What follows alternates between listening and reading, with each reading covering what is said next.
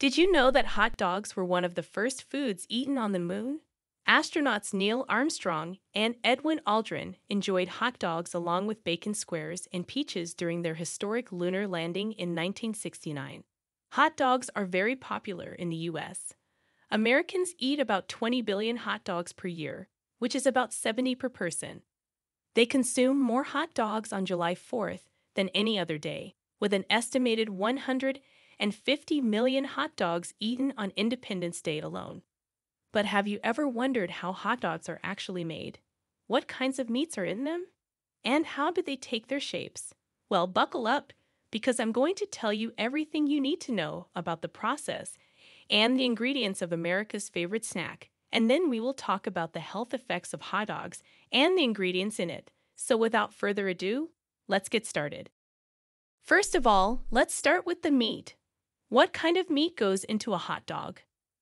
Well, according to the National Hot Dog and Sausage Council, yes, that's a real thing. Hot dogs are made from specially selected meat trimmings of beef or pork, just like the meat you buy in your grocer's case. Sounds good, right?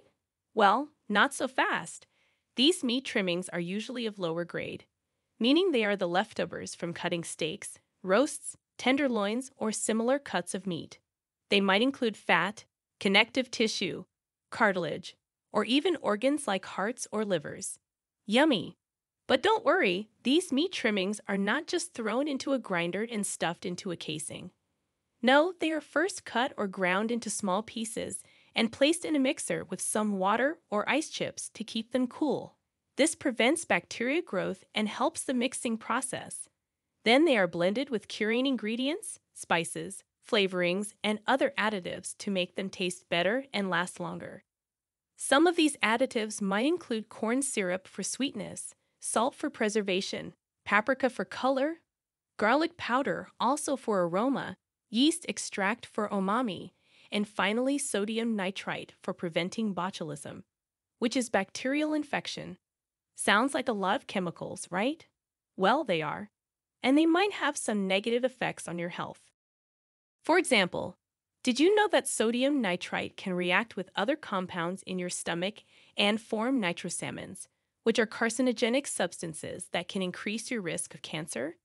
The corn syrup also can spike your blood sugar levels and contribute to obesity and diabetes.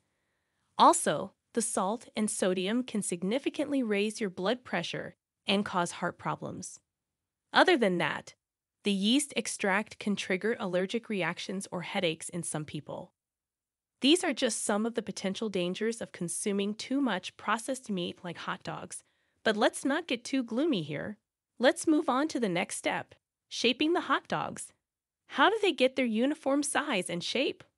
Well, after the meat mixture is blended into a fine emulsion or batter using high speed stainless steel choppers, this makes the texture smoother and more uniform.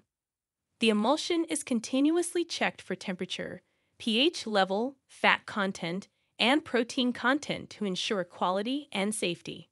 After that, the emulsion is pumped into an automatic stuffer or linker machine that fills casings with the meat paste.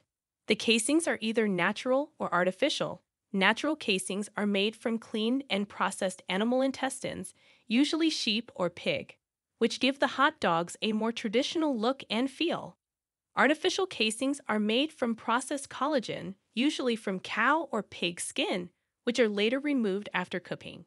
Before we continue, if you have been enjoying the video so far, hit the like button and don't forget to subscribe and hit the bell icon so you don't miss more videos like this. The casings are then linked into long strands of hot dogs and moved to the smokehouse, where they are fully cooked under controlled temperature and humidity conditions. They may also be hardwood smoked for added color and flavor. After cooking, the hot dogs are showered in cool water to stop the cooking process and prevent them from shrinking. If they were made with artificial casings, they are sent to an automatic peeler that strips away the cellulose skin. The individual links are then conveyed to the packaging equipment where they are vacuum sealed in plastic films to protect their freshness and flavor. And voila! You have your hot dogs ready to be shipped to retailers and consumers. The whole process can take only a few hours from start to finish. and it is carefully regulated and inspected by the U.S. Department of Agriculture for wholesomeness and safety. But does that mean you can eat them right out of the package?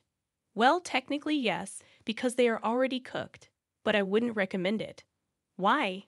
Because they might contain harmful bacteria like Listeria or Salmonella that can survive the cooking process and cause food poisoning if not reheated properly. So, how should you reheat your hot dogs? Well, there are many ways to do it.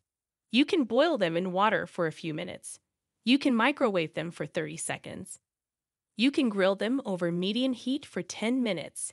You can bake them in the oven for 15 minutes, or you can fry them in a skillet for 5 minutes.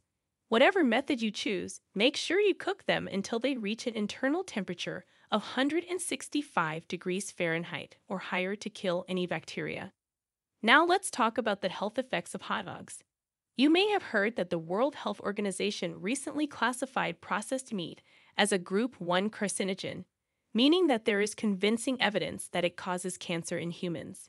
This puts it in the same category as tobacco, asbestos, and plutonium.